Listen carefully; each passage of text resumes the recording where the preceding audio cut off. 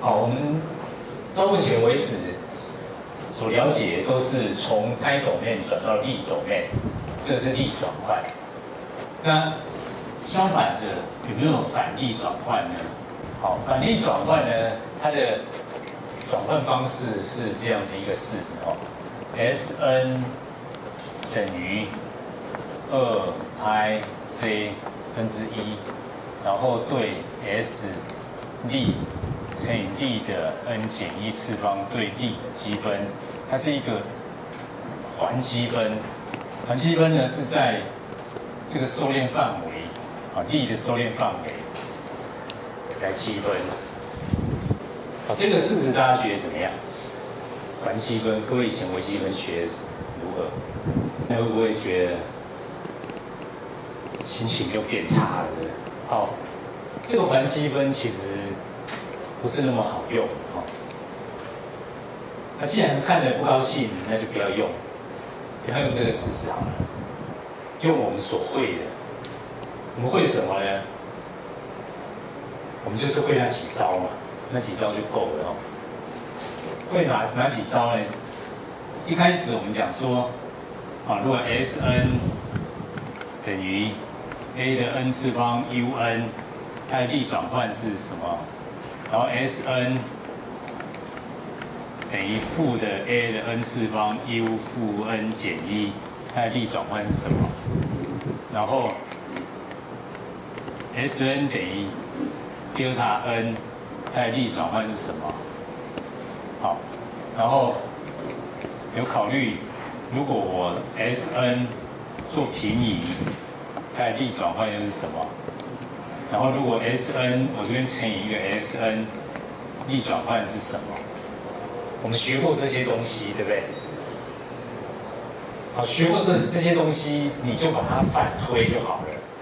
就是你看到这边是什么的时候，就把它反推回来就可以了。例如，S D 等于一加力的负二加力的三次方，那它的反力转换是什么呢？反力转换你不要用这个式子哦，你用这个式子，你就会人生就变黑白的。你要用你会的，一它是 delta n 转过来的嘛，那你就要记得它是 delta n 转过来，那这里就是 delta n 嘛。然后力的负二是，你就想嘛，我，刚刚不是讲说 S n 减一。n 减 n 零，它的力转换会跑出一个力的负 n 零，所以这个一定是第二塔平移而来的。那这个呢，也是平移，就这样子反推回去。所以有一些基本的讯号，它的力转换你要记得才可以。好。那我们看一个稍微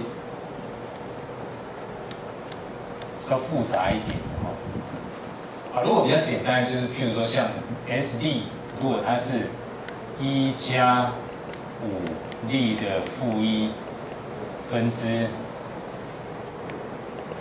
力的负二，然后其中力的绝对值。小于五，这个力转换是多少？对，这个是反力转换 S n 等于多少？如果今天没有这个，这样子它的反力转换是多少？大家又在装校尉了，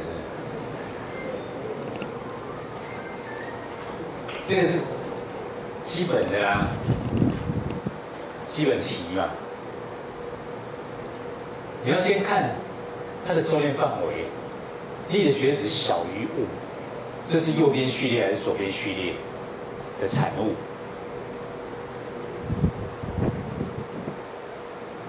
左边嘛，对不对？右边序列是大于的啊，圆以外的；左边序列是圆以内。好，要记住哦。就各位早上起床，你就要提醒你自己；睡觉前也提醒你一下，这样子才有才能做做好梦啊。晚上提醒自己，这样就一夜好眠。早上起来再提醒自己。今天就是得意的一天，对不对？力小于五，这是左边的序列。左边的序列，你就要写出那个负的 a 的 n 次方 u 负 n 减一嘛。所以它是负的，这边是 a，a 在这边是多少？是负五，对不对？的 n 次方 u。负 n 减一，所以它是这个形式，可以吧？哎，奇怪了，各位，到底是怎么回事？你是瞬间忘记了？各位八分太短了。a 的 n 次方 u n 力转换绝对值，不对，是一减 a 力的负一。力的绝对值大于 a 的绝对值啊，那负的 a 的 n 次方 u 负 n 减一，力转换是一减 a 力的负一分之一，这两个一样，但是它的收敛范围是力的绝对值小于 a 的绝对值，所以你要记得这一个形式，就要把它记住，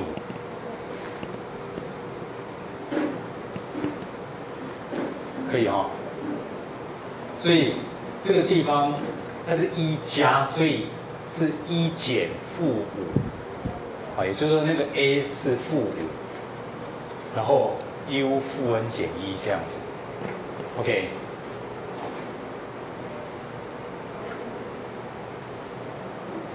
这样可以吗？啊，那我刚刚把这里改成改成力的。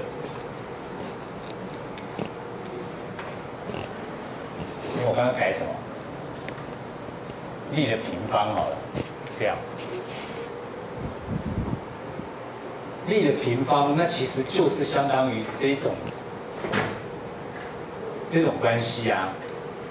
我这边力的平方代表说，你这里应该是 n 加二，对不对？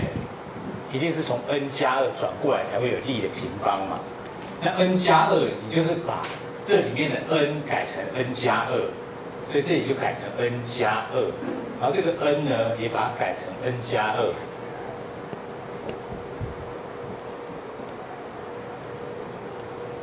这样就好了。好，那你如果真的觉得有点乱，你就把它写成负 n，这里减二又减一，所以负 n 减三。这样会不会？哦，这再出一题，S 力等于一加二力的负一分之一减。好，各位做一下这一题。这边是一加二力的负一，然后这边一减五力的负一。然后力的负三次方这样，算一下这个 S N 应该是多少？这个地方要先看收敛范围啊，收敛范围力的绝对值大于二，小于五，这是一个环状的，那它会关系到你这里应该是对应到右边的序列还是左边？啊，那这边也是一样，这个。各位看，它是右边的序列还是左边？右边对？因为这里是大于二，大于二，它这个是对应到右边的，所以它是一个负二的 n 次方 u n。因为这里是加，对不对？啊，原先这个形式是减的啊，所以这边是应该是负的。然后这一个它是小于五，所以这是左边的序列。左边的序列它是一种负的什么东西这样的形式，对不对？虽然是负的，啊，你如果只看这一项，它是负的什么？但是它这里又有一个负号，所以这里就会变成正。然后减五，啊，它是对应到五的 n 次方 u 负 n 减一这样子的形式。因为这里又有力的负三次方，所以你要把这里 n 改成 n 减三，这边 n 也改成 n 减三。好，那所以这边整理一下就变成 u 负 n，这边加三再减一，就是加二 n 次方 u n 加五的 n 减三，这样子。好，所以它的答案就是这样。好，那这个题目呢，先先讲另外一个题目好了。反义上还有一个问题是，看起来稍微比较麻烦一点，这样。如果 S d 等于一减一点五力的负一加零点五力的负二，然后这边一加二力的负一加力的负二，好，我要求它的反力转换。那这个式子它有没有反力转换的公式？看起来没有，对不对？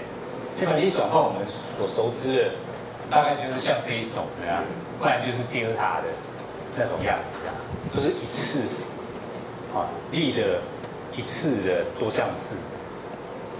那它现在是二次，那怎么办呢？我们要设法把它变成一次的多项式。那怎么做呢？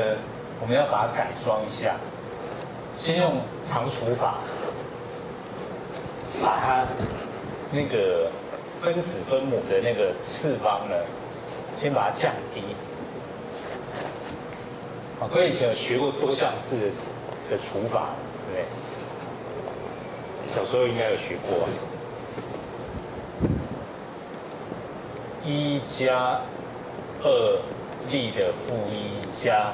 力的负二，好。不过这里常除法呢，各位养成一个习惯哦，就是把负的高次方把它摆在前面，力的负二加二力的负一加一，这样会比较好。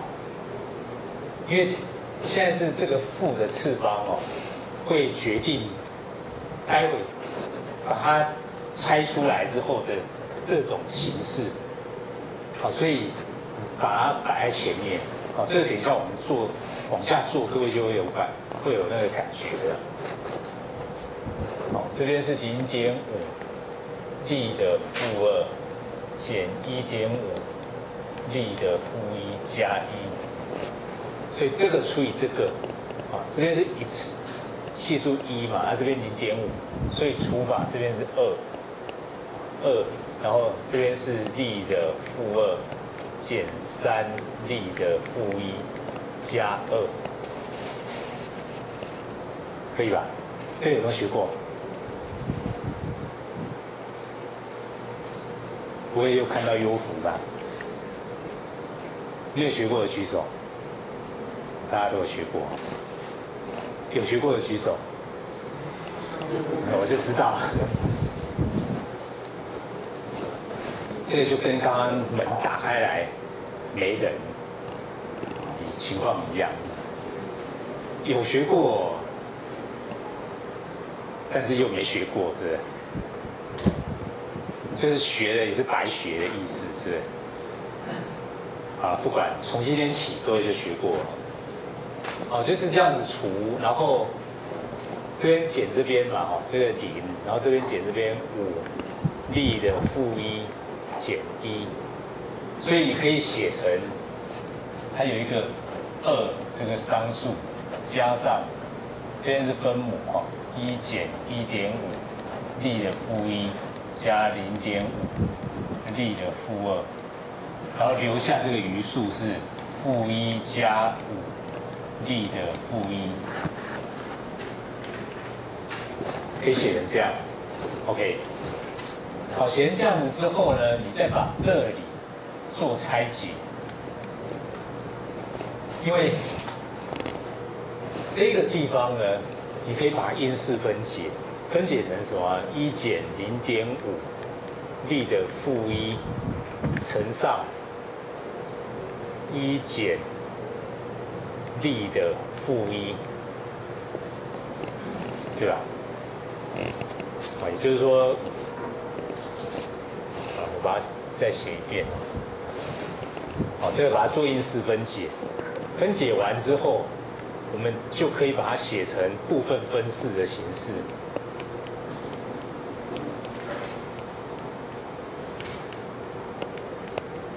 这边是 A，这边是 B，某某个系数啦。A 跟 B 是多少呢？这个我们可以算哦。就是现在这两个组合起来要等于它嘛，对不对？好，也就是说，这个我现在要求，现在就会变成是。这个 a 乘上一减二力的负一，加上 b 乘上这个一减零点五力的负一，要等于这个啊。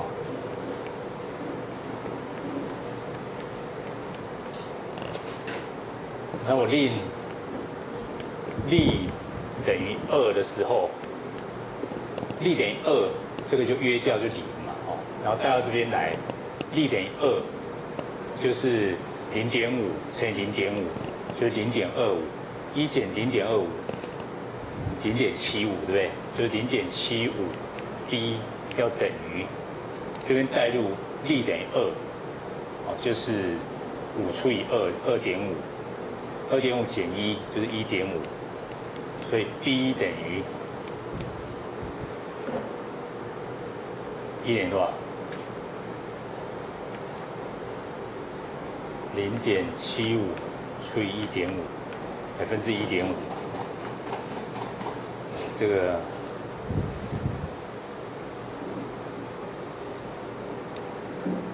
我们看一下，这边这样，哎，对吧？哎，对了，就是二了哈，奇怪，嗯，看半天，一点二。对吧？哈，然后令力等于零点五，那于是这一项就没有了，就留在这里。啊，零点五分之一就是二，一减四就是负三 a，要等于零点五就是二，嗯，十就是九。所以 a 等于负三，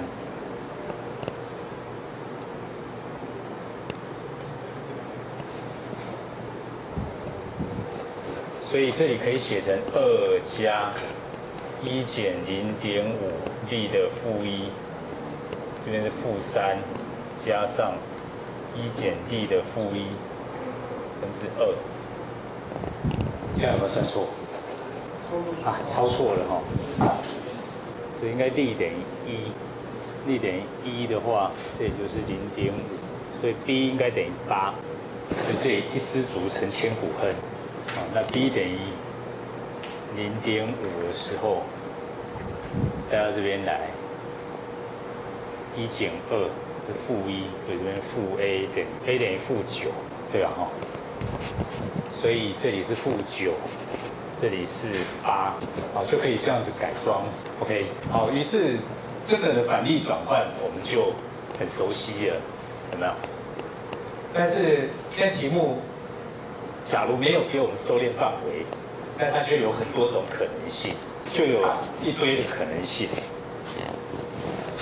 这边我擦掉了，所以 S n 它可能是二德尔塔 n。加上，如果现在两个都是右边的序列，那就代表力的绝对值大于零点五，力的绝对值大于一，两个都是右边的序列的话，那这样子有没有矛盾？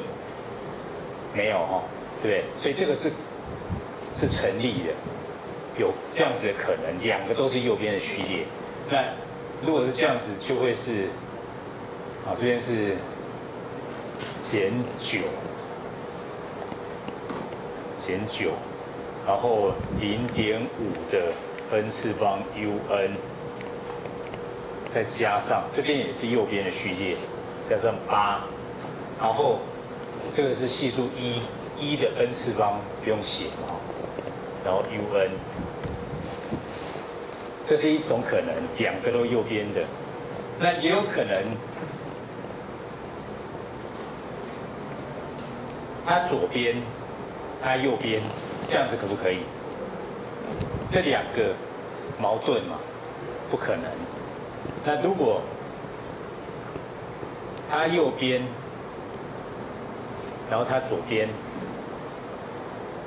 这样可不可以？可以。这样就变环状了，对不对？所以就是它右边、它左边这种也可能，所以它可能有另外一种，就是二德尔塔 n，好，它是右边，所以是减九零点五的 n 次方 un，然后它左边，左边就是减八，然后一样一的 n 次方哦，然后 u 负 n 减一，一个右边，一个左边。然后也有可能两个都左边，这样有没有矛盾？没有，对不对？所以也有可能这样，两个都左边，二德尔塔 n 减减九，那因为是负的嘛，哦，所以这边就变加九，零点五的 n 次方 u 负 n 减一，然后它也是左边，就八 u 负 n 减一。就会是这样。好，那如果 S D 等于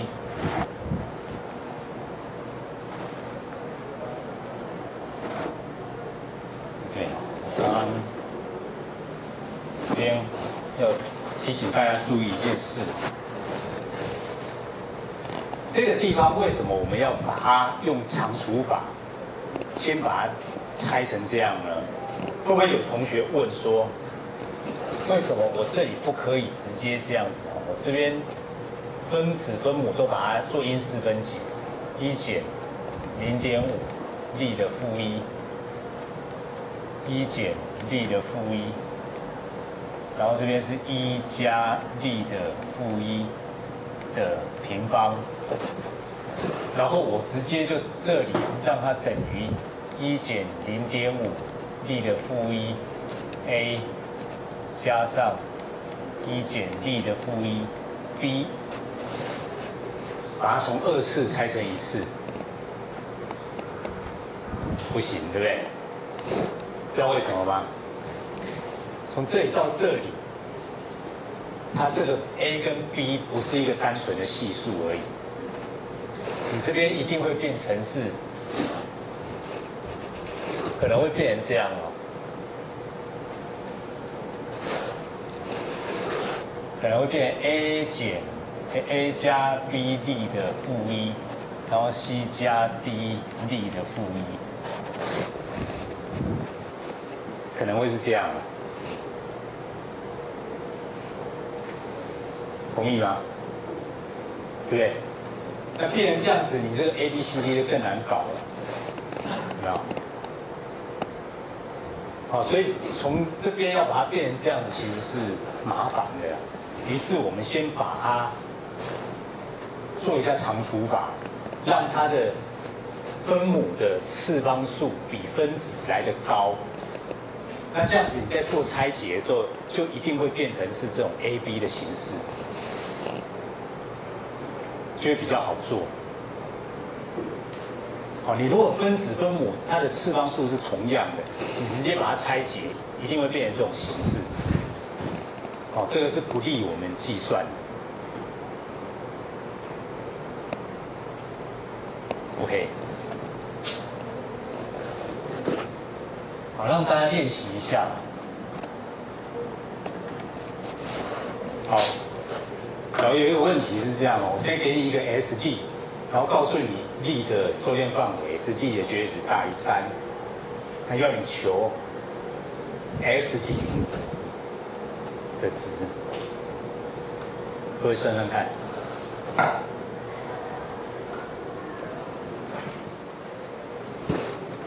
好，这个题目呢，其实你可以直接用初始值定理来算哦。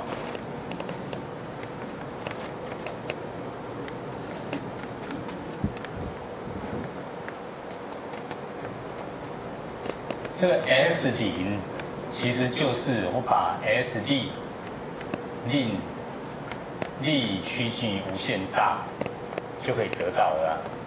啊，也就是说这里面力带入无限大，就是一减零，对，力带入无限大。啊这边力带入无限大，无限大都是零嘛，就是一减零减加零。所以就是一嘛。好，你如果不放心，那就把它反例转换来算算看。这个式子会等于，好，这个我们一样要用常数法来把它改写，负四力的负二加一，然后这边是六力的负二。减五力的负一加一，好，所以这里是二二分之三，负二分之三，对，三分之二哈，好，是负的三分之二，所以这边会是负四力的负二，然后这里，我们保留一个力的负一。然后，所以这边是加三分之十力的负一减三分之二，那于是会留下负的三分之十力的负一加上三分之五。好，所以我们可以改成负三分之二加上。这个我们把它做因式分解，一减三 d 的负一，一减二 d 的负一，然后留下这个三分之五减三分之十 d 的负一，那我们还可以再把它改成部分分式。A 加上，所以 a 一减二力的负一加上 b 一减三力的负一，要等于三分之五减三分之十力的负一，令力等于二，那么。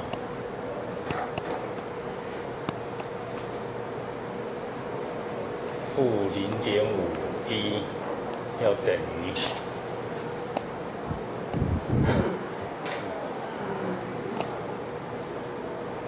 等于零，对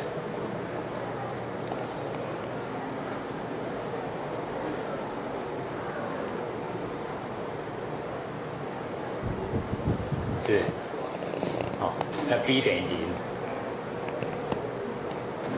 然后令。力等于三，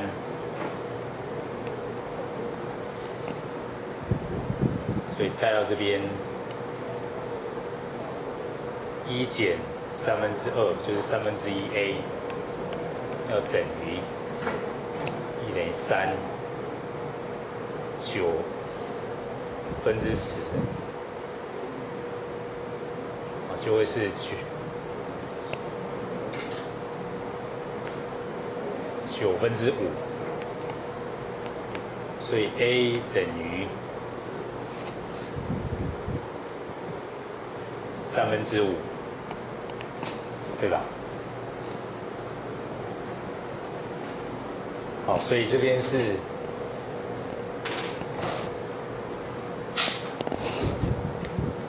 三分之五，然后，哎，一是零，这样对吗？哦，因为分子分母约掉了一个一减二力的负一，所以这就没有。好，所以根据它的受链范围，我们。可以知道，S n 会是负三分之二加上三分之五，然后这个三的 n 次方 u n，好，所以 S 零等于负三分之二加上 n 代入零，好，这个是一，这个也是一，加上三分之五，所以会等于一。就算出来跟那个一样，但这样子就要搞半天了。啊，有没有问题？没问题啊，好，没问题，我们就礼拜五见，拜拜。